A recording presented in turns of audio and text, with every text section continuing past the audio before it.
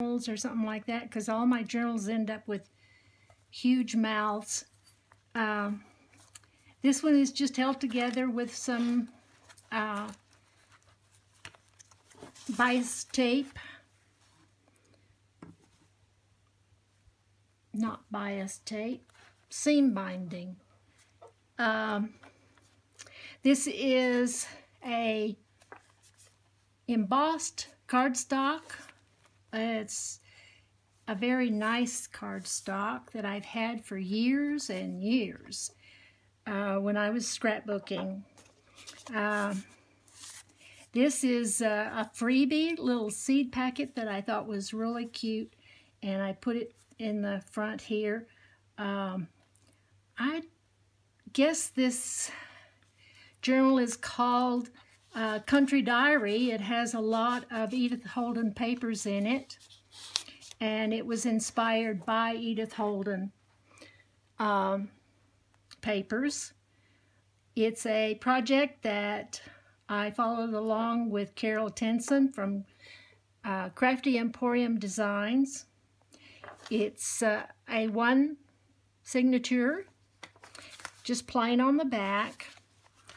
Um, this was a piece of paper that, uh, it's a piece of found paper, came out of a garage sale situation. This is a page, piece of a page out of the uh, Edith Holden book that I uh, have. And uh, we'll go inside and look at it. Uh, this is a Edith Holden page, this lovely butterfly. It says it's a small tortoise shell, and it looks like a tortoise shell.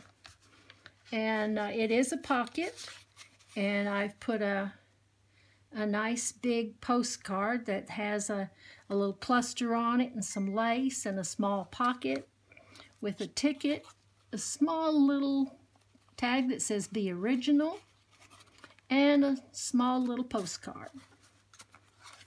And it says Smile. Very important to smile.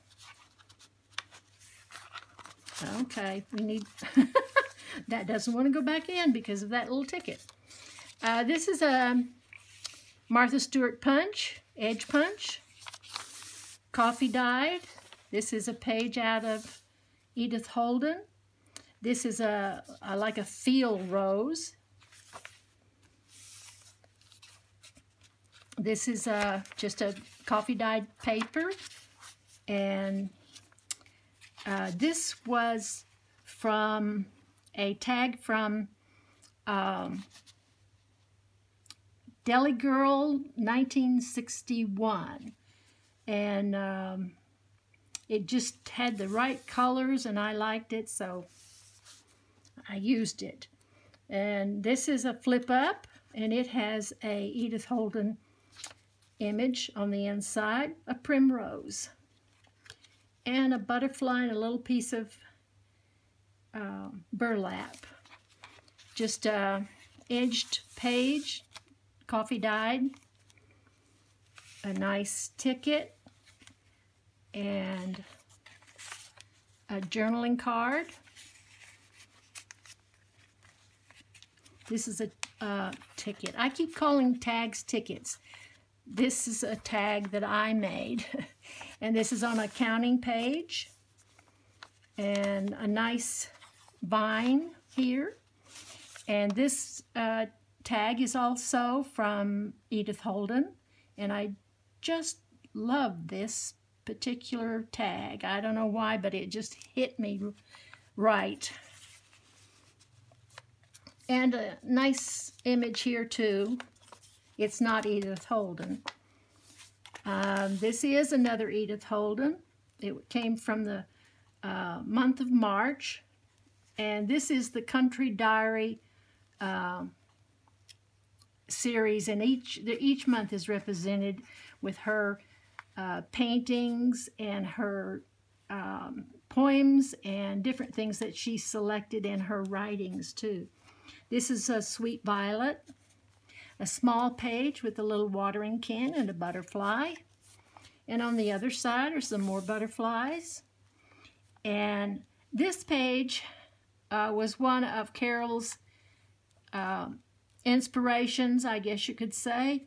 Um, I did a little differently than she did, but nonetheless, it's her her idea. Um, she framed a picture, and so I did that, and I put some lace on the bottom, and lace on this side, a tab, and then I put another frame on this side so that when you turned the page, you were enjoying this little card, and when the page is over here, you've got this lovely um, flower, lily. And that's actually a postcard type uh, size. A small bag, paper bag, and it has a nice journaling card in it. And a little tab from um, another little piece of Edith Holden paper and some more lace and more lace and a cloth tab that pulls out. And this is actually a little piece of the book too, but it just had like grasses on it. it looks almost like cattails, but uh, I thought it would make a little nice card to go in here, and you can write on the back of it. And uh, another lovely image. Now this is a sort of the intricate part of the book, and I hope you can see all of it. Um, this is two envelopes that have been put together and uh, you can put journaling cards or most anything that you want in here. And then you open it up and you I decorated this with uh, one of the Edith Holden pages. And this is also an Edith Holden uh, tag shape. The month this came out of the month of April and this picture and this picture on this end are on the same page. And I have a couple of more tags in the pocket that I've made. Now I better close this up before I forget. Another picture of a nice bird and another uh, tag that I've made. And this is just a little short um, tracing paper. I couldn't think of the name of it, tracing paper. And uh, pocket here holds a little booklet. And uh, this happens to be a piece of wrapping paper. And I put it on card and used it with this little booklet. And this is just coffee dyed paper. So lots of places to write and a stamp from New Zealand that I recently got from Tammy. Uh, beautiful stamps. An envelope in the center, and I haven't uh, glued it. I could decorate a little bit more if I wanted to. And I put the center in into the envelope. Uh, here's another little cloth tab. This is the Song Thrush's egg, beautiful egg. The other side of that tracing paper and another Edith Holden tag and a tuck. Um, this is a Tracy Fox pocket and this was a freebie and I believe it came from Tracy too an envelope that you can fold up and make yourself.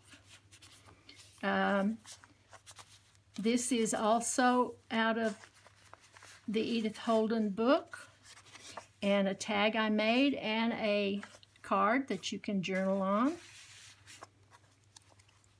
And these little cards also came from, uh, no, yes, Tracy Fox. That's a Tracy Fox too. And this just has some journaling papers and a nice tag that I made. And this is another pocket from Tracy.